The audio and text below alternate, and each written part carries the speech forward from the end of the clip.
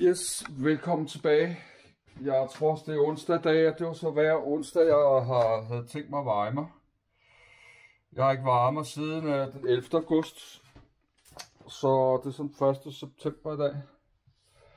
Så det er, en, to, det er faktisk tre uger siden, jeg har varmet mig. Jeg uh, tror altså ikke, at jeg har tabt mig i hvert fald. Jeg tror tværtimod, jeg har taget på. Jeg har nok røget op på 100 og måske 134, tror jeg. Det er svært at sige. Jeg føler mig tungere i hvert fald. Men øh, det er så 1. september i dag, og jeg er kommet igennem august måned. Jeg har lige betalt alle mine regninger her i morges. Så jeg vil lige afsted nu øh, til Lidl. Jeg vil lige købe to cola og to saftevand og to ravioli og sådan noget. Så jeg vil lige uploade det her først her.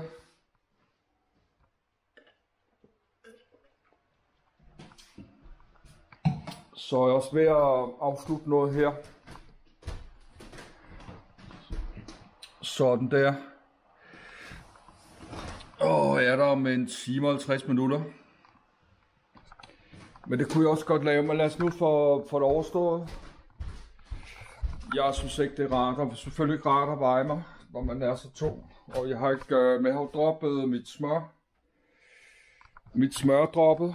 Den lampe her skal lige sætte til, for den her, den blænder mit kamera. Så den lampe, lidt lige få den op her, så jeg ikke træder på den. Om der er sådan nogle kager i, så det er der så. Nej, jeg tror, jeg har taget meget på. Men jeg var, jeg var bare med øh, tøj på, kamera og det hele hånden, ja. Lad os se, hvad den siger. Nå, nu har jeg simpelthen øh, tabt flere kilo, føler mig ellers vildt tung. Må lige veje 129,5. Men jeg har jo droppet øh, smør, det er jo så øh, kilo måneden, jo. Lad os se, om det passer der. Yes. Den siger 129,7 129,7. Yes. og så næste gang jeg vejer mig næste uge, jamen så ser den så bare 134. Det svinger enormt meget, så man kan altså ikke regne med det. Man skal altså ikke gå og glæde sig for meget. Jeg er jo ikke sådan øh, på diæt, men jeg skal finde ud af en måde at leve på. Sådan er jeg ikke. Jeg bare tager på vægt hele tiden. Det vil sige, øh... Men jeg har selvfølgelig også fået meget mindre sukker. Jeg har jo droppet mit øh, blandet saft, jo. Min mor købte jo nærmest 25 og sådan nogle blandede saft. Jeg var ikke klar over, at der var, der var øh, 41-43% sukker. I hver af de der blandede saft var der altså 430 gram sukker. Den brugte jeg altså 10 af på en måned. Der er så nærmest 4,5 kilo sukker bare på øh, saften her. Plus et kilo øh, fedt om måneden på de der 5-6 pakker. Øh, 5-6 pakker øh, det der blandet smør der, smør. Så har jeg også brugt noget mayonnaise og sådan noget. Men, ikke, men mayonnaise har jeg altid sådan brugt vildt meget af, for jeg synes ikke mayonnaise smager, smager specielt godt. Til gengæld kan jeg godt lide øh, remoulade, så. Så det er sådan det seneste, jeg bruger. Jeg bruger en god remoulade. Og så lader man for mig, der er så også meget fedt i sådan en. Der er så... Men der er så kun 39% fedt i i stedet for mayonnaise, det er altså 81%. Men jeg kan skam godt lide øh, uh, mayonnaise på æg og sådan noget. Men uh, ikke, uh, det kan vi altså ikke gøre nu, uh, når jeg er over 130 kilo. Så men jeg havde følt det nærmest, at jeg har taget på, jeg er oppe på 134 eller sådan noget. Men det er svært, så næste, næste uge jeg vejer mig, så var jeg 134 eller sådan noget. Det svinger så helt vildt. Så det der kun glæde dem. Det kan også noget gøre, at jeg ikke har drukket nok væske. Men lad os få det på første 9. 2021.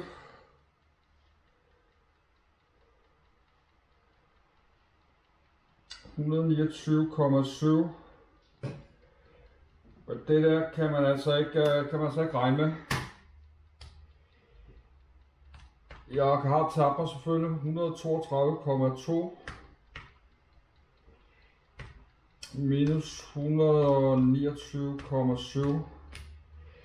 Altså selvfølgelig det, jeg tabt mig 2,5 kilo på, øh, ja det er så ikke på en uge, det er jo så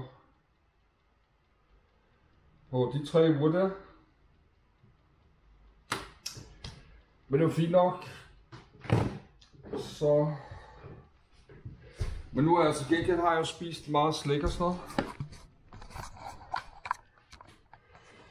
Men øh, jeg skulle så være lidt, men lad os være med, man skal så ikke glæde sig alt for meget, så lige skal onsdag også, fordi øh, det næste gang jeg vejer mig næste uge, jamen, så vejer jeg 134 kilo. Sådan noget.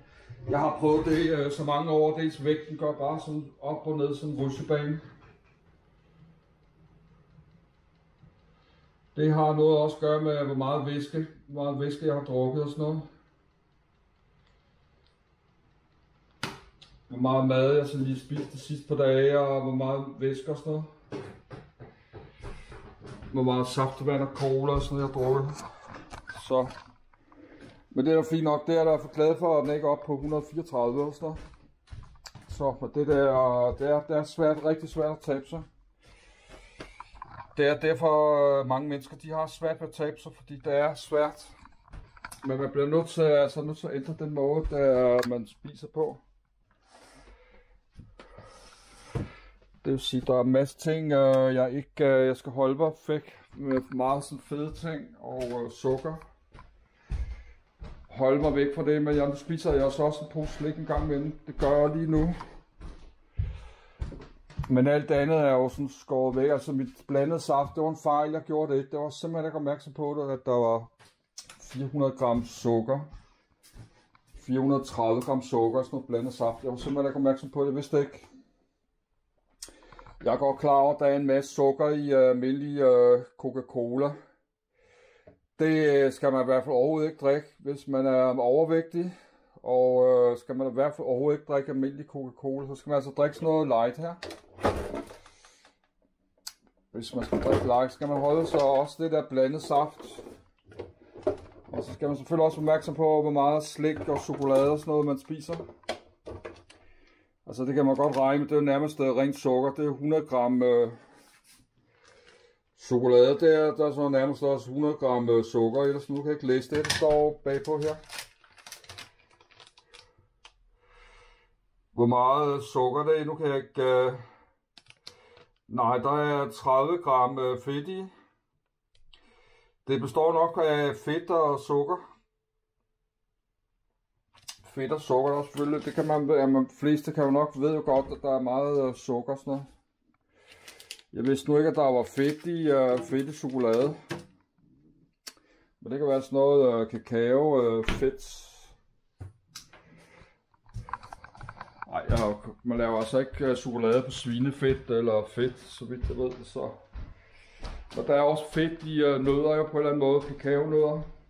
er, øh, kakao er jo sådan nogle nødder på en eller anden måde, der, ligesom peanuts og sådan noget. Øh, yes, men det var da i hvert fald glædeligt. Så nu vil jeg, øh, jeg vil cykle afsted til Lidl og købe lidt mere cola og saftevand.